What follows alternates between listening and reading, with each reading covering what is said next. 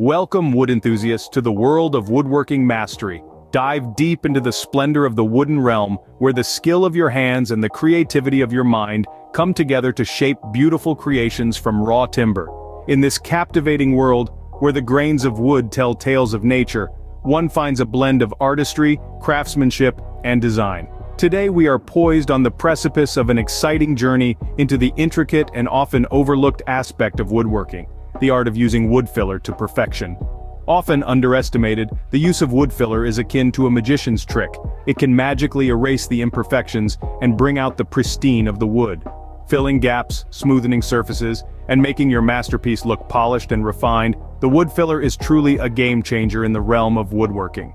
As your guide, I am here to walk you through every step of this process, taking care to ensure that you fully understand the nuances of selecting the right wood filler, mixing it to the right consistency, applying it with precision, and then sanding it down for that flawless finish. This is not just about fixing flaws, it is about the character of the wood, and enhancing its natural beauty.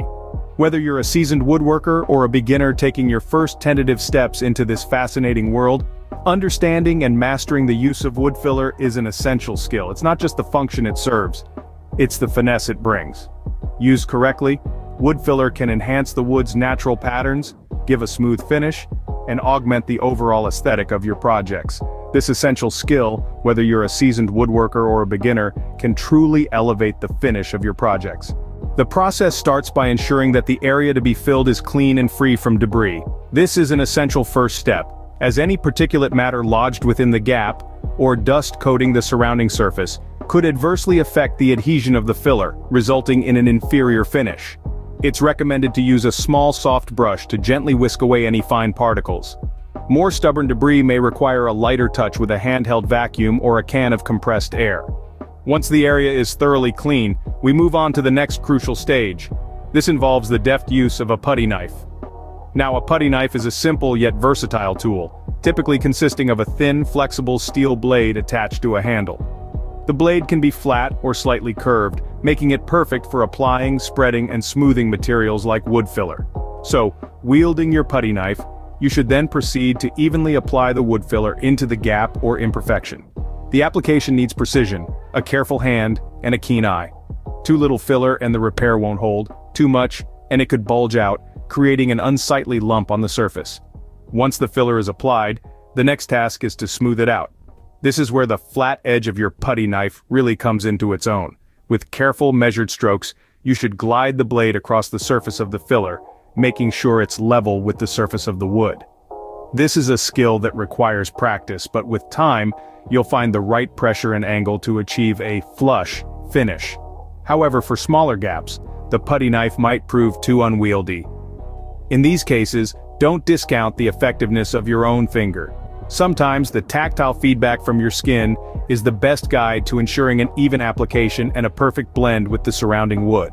So, for smaller gaps your finger could be the best tool to ensure a seamless finish. Once you've applied the filler the key is patience. You must recognize that this process isn't a race. Quality takes time and cannot be rushed. This is a crucial step not to be overlooked. The filler needs time to settle in and dry out, the magic happens when you allocate it ample time to dry. The more thoroughly the filler dries, the stronger the bond it forms with the surface, providing a more solid and stable base for the next steps in the procedure. The importance of this waiting period is often underestimated but it is in fact the cornerstone of the process. Giving the filler the necessary time to dry allows it to integrate completely with the surface and harden. You might feel the urge to rush, but resist it. Remember, good things take time. You might not see it happening but the filler is slowly sinking in, completing its purpose. The filler, once dried, forms a strong and robust foundation. A foundation that will support the weight of the paint and withstand the natural elements. This is what makes the wait worthwhile. Then comes the next step sanding. Sanding not only ensures a smooth surface but also guarantees a uniform texture. It buffs away any rough patches leaving behind a level and even surface that's ready for the finishing touch. It's the icing on the cake, the cherry on top of your painstakingly prepared base. So remember, patience is key in this process and the wait is definitely worth it. And just like that, your wood is ready for the final touches of staining or painting, leaving behind a finish that's as flawless as it gets. Now some may think that woodworking is a simple task. cutting a piece of wood, sanding it, and then staining or painting it. But let me tell you, it's a lot more complex and fulfilling than that. Woodworking is an art, a craft that requires patience, precision, and a deep understanding of the material you're working with. It's not just about creating an object, it's about bringing to life an idea, a vision. It's about creating something that not only serves a purpose but tells a story, a story of dedication, craftsmanship, and love. But where does one start? Well, every journey has to start somewhere, and so does the journey of mastering woodworking. The saying goes, every master was once a beginner, and it couldn't be more accurate. Each one of us has to start with the basics, understanding the tools and the techniques that are needed. It may seem daunting at first, but let me assure you, with the right guidance, anyone can become a master woodworker, and that's where we come in. We are here to provide you with that guidance. We offer a free Mastery Woodworking video guide and an ebook on our website www.peterstimbershop.com. Our guide's designed to help you understand the basics and gradually build up your skills. Whether you're a novice looking to start a new hobby, or a seasoned woodworker hoping to enhance your skills, our resources are tailored to cater to your needs. So, why wait? It's never too late to start learning, to start creating. Claim your free resources now. It's time to enhance your woodworking skills with us.